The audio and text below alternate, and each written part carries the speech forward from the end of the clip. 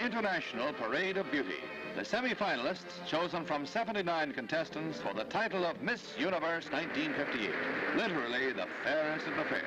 From Louisiana, Miss USA, Eurlyne Howell. Poland's Alicia Babrowska. Beauty knows no iron curtain. Miss Germany, another semi-finalist, but the winner is none of these.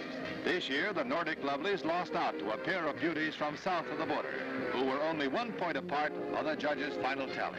The winner, Miss Colombia, 19-year-old Luz Marina Zuluaga, 5 foot 4, 36, 24, and 36. She's on the threshold of fame, but no career for her. Luz just wants to get married.